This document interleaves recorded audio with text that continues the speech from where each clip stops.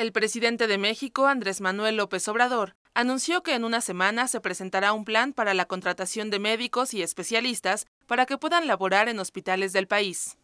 Aquí vamos a hacer la convocatoria eh, para eh, contratar eh, a más enfermeras, a más médicos, a más especialistas y resolver lo de las vacantes y ver también esto sobre los cursos o las especializaciones y los obstáculos, eh, a qué se debe, si tiene que ver con la falta de hospitales que sirvan al mismo tiempo de escuelas para la capacitación, para la formación de los médicos Comentó que se buscará mejorar el servicio en materia de salud y por eso va a incrementarse el presupuesto en 40 mil millones de pesos para cumplir con que no falten medicamentos, ni médicos, ni enfermeras y mejorar la infraestructura. En las comunidades apartadas, donde hay más pobreza, donde se necesita más,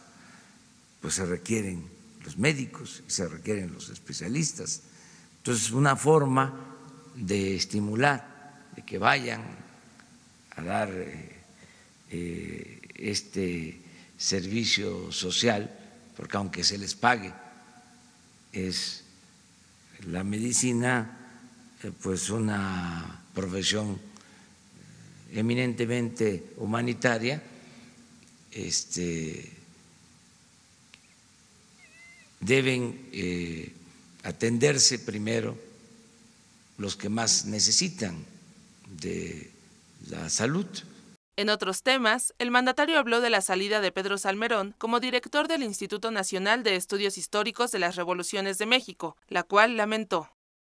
Lamento mucho que Pedro Salmerón haya presentado su eh, renuncia por eh, un texto que escribió sobre un acontecimiento lamentable que se presentó en Monterrey y que le costó la vida al señor Garza Sada. Pedro Salmerón es uno de los mejores historiadores de México. Pedro vale más como investigador, como historiador, que como funcionario. Es un investigador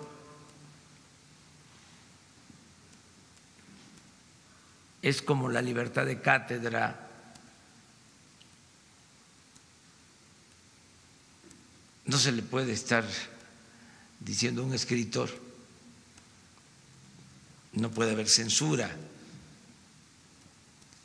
Sin embargo, pues se consideró este, que no fue adecuada la expresión. Sobre el llamado del exmandatario Vicente Fox contra de la llamada Cuarta Transformación, el presidente se negó a opinar. Sin comentarios. Finalmente dijo que más que declarar emergencia climática, lo que se tiene que hacer son acciones para regenerar el medio ambiente, para reforestar, limpiar el agua y evitar que se siga contaminando.